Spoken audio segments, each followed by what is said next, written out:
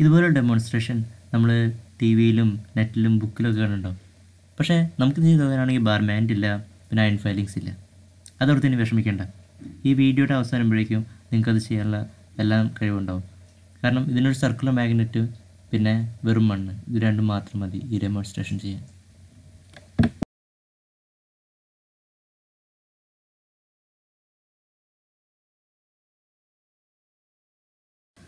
ഐൻസ്റ്റീന്റെ കുട്ടിക്കാലത്ത് അദ്ദേഹത്തിന് ഒരു ബന്ധു ഒരു കാന്ത സമ്മാനമായിട്ട് കൊടുത്തു. അദ്ദേഹം അതുമായിട്ട് ചങ്ങാത്തത്തിലായി. എപ്പോഴും അതുകൊണ്ട് കളിക്കാൻ തുടങ്ങി. അപ്പോൾ അദ്ദേഹത്തെ കുഴപ്പിച്ചൊരു ചോദ്യമാണ്. ഒരു കാന്തത്തിനടുത്ത് നമ്മൾ സൂചി വയ്ക്കുമ്പോൾ ആ സൂചി കാന്തത്തിന്റെ അടുത്തേക്ക് പെട്ടെന്ന് അതായത് അതായിട്ട് ഒരു കോണ്ടാക്റ്റ് ഇല്ലെങ്കിലും സൂചി കാന്തത്തിന്റെ അടുത്തേക്ക് വരും. അതെങ്ങനെയാണ് സംഭവിക്കുന്നത്? നമ്മുടെ റിയൽ ലൈഫിൽ അത് അത്ര സുഭിച്ചതല്ല അതായത് നമ്മൾ രാവിലെ എഴുന്നേറ്റിട്ട് അലാം ഓഫ് വേണ്ടി ഫോൺ നോക്കുമ്പോൾ ഫോൺ തന്നെ നമ്മുടെ അടുത്തേക്ക് വരില്ല. നമ്മൾ പോയിട്ട് എടുക്കുക തന്നെ വേണം. എന്നിട്ട് നമ്മൾ സ്നൂസ് ചെയ്തിട്ട് കിടന്നുറങ്ങും.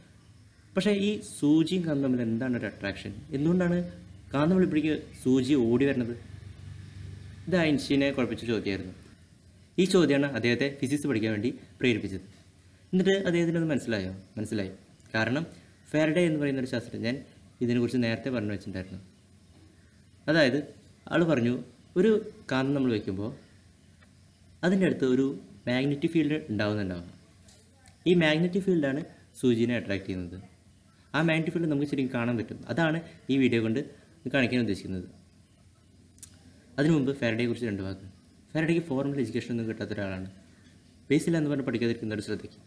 ഫാരഡെ സ്കൂളിൽ പോലും പോയിട്ടില്ല. എന്നിട്ട് ബുക്കുകൾ വായിച്ചിട്ട് അദ്ദേഹം വലിയൊരു ശാസ്ത്രജ്ഞനായി ലോകം അറിയപ്പെടുന്ന ഒരു ശാസ്ത്രജ്ഞനായി. എങ്കിൽ നിങ്ങൾക്ക് എന്തുകൊണ്ട് സാധിക്കില്ല. താല്പര്യത്തിലാണ് കാര്യം. ഇവിടെ എന്റെ ഒരു ബാർ മാഗ്നറ്റ് ഉണ്ട്.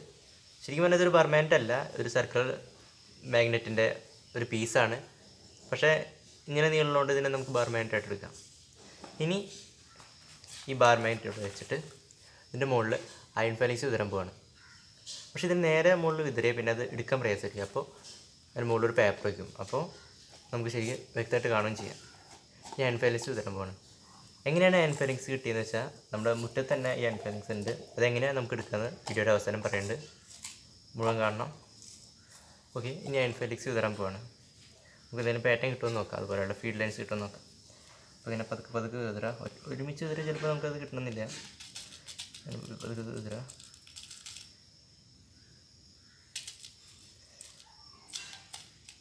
കിട്ടുന്നില്ലല്ലോ. ഇതൊക്കെ തെറ്റാണ്. വെറുതെ മനുഷ്യനെ കണക്കെടുക്കാൻ വേണ്ടിയിട്ട് ഓരോന്ന് ഉണ്ടാക്കി വെച്ചിരിക്കുന്നത് ഒരു മിനിറ്റ്. ഈ മാറ്റിന്റെ നോർത്ത് സൗത്ത് ഡയറക്ഷൻ ഇത് തന്നെയാണോ?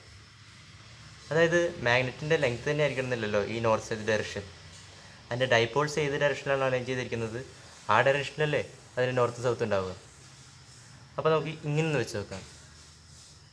ഒരു മിനിറ്റ് നമുക്ക് ഏതാണ് നോർത്ത് സൗത്ത് എന്ന് അറിയാൻ വല്ല വഴിയുണ്ടോ? ഉണ്ട്. നമ്മൾ വേറൊരു മാഗ്നറ്റ് എടുക്കുക ഇതൊരു മാഗ്നറ്റാണ് ഇനി നമുക്ക് ഇത് ഇത് രണ്ടും അട്രാക്റ്റ് ചെയ്യുന്നൊരു ഭാഗം എടുക്കാം. ഇതിപ്പോൾ അട്രാക്റ്റ് ചെയ്യുന്ന ഭാഗമാണ്. ഇനി ഈ ഭാഗത്ത് വയ്ക്കുക അപ്പോൾ ഇവിടെ അട്രാക്റ്റ് ചെയ്യുന്നുണ്ട് ഈ സോറി ഈ ഭാഗം ഇവിടെ അട്രാക്റ്റ് ചെയ്യുന്നുണ്ട് ഇവിടെ അട്രാക്റ്റ് ചെയ്യുന്നുണ്ട് കണ്ടാ? അപ്പോൾ ഇത് നോർത്ത് സൗത്ത് അല്ല എന്ന് നമുക്കറിയാം. കാരണം നോർത്ത് സൗത്ത് ആണെങ്കിൽ ഒരു മാഗ്നറ്റ് ഒരു ഭാഗത്ത് അട്രാക്റ്റ് ചെയ്യും ഒരു ഭാഗത്ത് റിപ്പല്ലും ചെയ്യും. പക്ഷേ ഇവിടെ രണ്ട് ഭാഗത്തും അട്രാക്റ്റ് ചെയ്യണോണ്ട് ഇത് രണ്ടും നോർത്ത് സൗത്ത് അല്ല. ഇനി ഈ ഡയറക്ഷനിൽ വെച്ച് നോക്കാം. ഇവിടെ അട്രാക്റ്റ് ചെയ്യുന്നുണ്ട് ഇവിടെ അട്രാക്റ്റ് ചെയ്യുന്നുണ്ട് അപ്പോൾ ഇതുമല്ല നോർത്ത് സൗത്ത് ഡയറക്ഷൻ പിന്നെ ബാക്കിയുള്ളത് ഇതാണ്. ഇവിടെ നമുക്ക് വെച്ച് നോക്കുക. അപ്പോൾ ഈ ഭാഗത്ത് അട്രാക്റ്റ് ചെയ്യുന്നുണ്ട് അതേ ഭാഗം തന്നെ ഇവിടെ വയ്ക്കുമ്പോൾ ശരിക്കും റിപ്പല്ലിയാണ് ചെയ്യണത്. അത് അത് തിരിഞ്ഞു. ബാക്കി മറ്റേ ഭാഗമാണ് അട്രാക്റ്റ് ചെയ്തത്. അപ്പോൾ ഇതാണ് എന്റെ നോർത്തും സൗത്തും ഡയറക്ഷൻ ഇനി നമുക്കൊന്ന് ചെയ്ത് നോക്കാം. ഇത് വെച്ചു. ഇനി നമുക്ക് അയൺ ഫൈലിങ്സ് ഒന്ന് വിതറിയാക്കാം. ഓക്കെ അത് കുറച്ച് ചോർച്ച ചെയ്ത് തരാം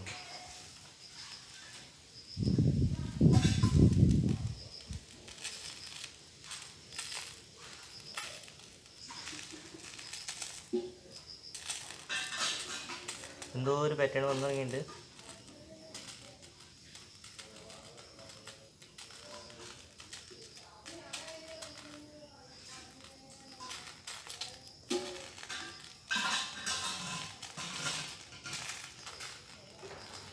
നിങ്ങൾക്കിപ്പോൾ ആ പാറ്റേൺ കാണാവുന്നതാണ്. ഇവിടെ നിന്ന് ഇങ്ങോട്ടും മാൻ ഫീൽഡ് ലൈൻസ് പോകുന്നു എന്നിട്ട് പുറത്തേക്ക് വരുന്നു. പിന്നെ ഇവിടെ ഇങ്ങനെ റൗണ്ട് ചെയ്തിട്ട് നിൽക്കുന്നു. പിന്നെ നമ്മുടെ മാന്റുള്ള ഭാഗത്ത് ഇങ്ങനെയും നിൽക്കുന്നു. ശരിക്കും ടു ഡയമെൻഷൻ വ്യൂ ആണ്. ശരിക്കും പറഞ്ഞാൽ ത്രീ ഡയമെൻഷനിലായിട്ടും ഇത് നമുക്ക് കാണാൻ പറ്റുന്നതാണ്. എന്തുകൊണ്ടാണ് ഒരു സൂചി വയ്ക്കുമ്പോൾ അത് അട്രാക്ട് ചെയ്യുന്നത് നമുക്ക് ഇപ്പോൾ പിടികിട്ടിയില്ലേ? കാരണം ഈ ഫീൽഡ് ലൈൻസ് ആണ് ഈ സൂചിയിൽ ആക്ട് ചെയ്യുന്നത്. ആ ഫീൽഡ് ലൈൻസ് ആണ് ഇതിനെ അട്രാക്ട് ചെയ്യുന്നത്. അതുപോലെ തന്നെ ഫാരഡേ പറഞ്ഞു ഈ ഒരു മാഗ്നറ്റ് തിരിക്കുമ്പോൾ അതിന് ചുറ്റും വെച്ചിരിക്കുന്ന കമ്പിച്ചുള്ളിൽ കറണ്ട് ഉണ്ടാവാനും കാരണം ഇതാണ്. അതായത് ഈ മാഗ്നറ്റ് ചിരിക്കുമ്പോൾ തിരിക്കുമ്പോൾ ഈ ഫീൽഡ് ലൈൻസ് മൂവ് ചെയ്യും. ഈ ഫീൽഡ് ലൈൻസ് അടുത്ത് ഇലക്ട്രോൺസിനെ മൂവ് ചെയ്യും. അതുകൊണ്ടാണ് കറണ്ട് ഉണ്ടാവുന്നതെന്നാണ് പറയുന്നത്. ഇനി നമുക്ക് ഇതിന് പകരം നമുക്കൊരു കുഞ്ഞ് മാഗ്നറ്റ് നോക്കാം. കുഞ്ഞ് മാഗ്നറ്റിന്റെ ഫീൽഡ് ലൈൻസ് എങ്ങനെയെന്ന് നോക്കാം.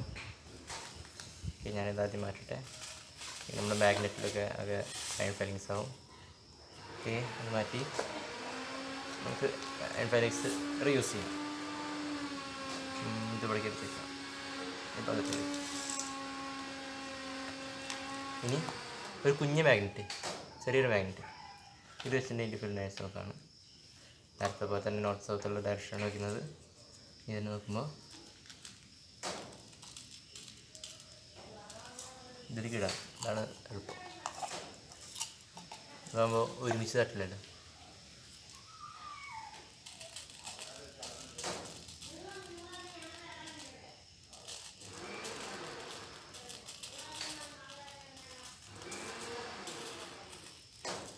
ഓ എന്ത് ക്യൂട്ടാണെന്നോ അത് കുഞ്ഞിതായിട്ട്.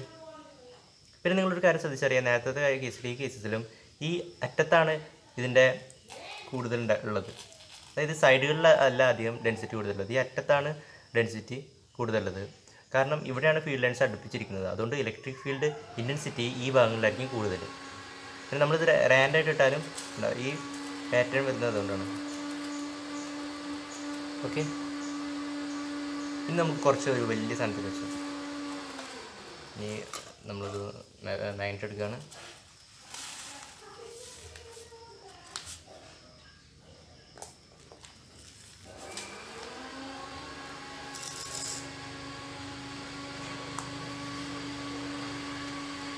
ഇത് വലിയ സ്പീക്കറിന്റെ മാഗ്നറ്റാണ് ഈ മോൺസ്റ്ററിന്റെ മുകളിലേക്ക് നമുക്ക് കുറച്ച് ഇട്ടുണ്ട് ഓക്കെ ഫാരഡയുടെ ഒരു കാര്യം.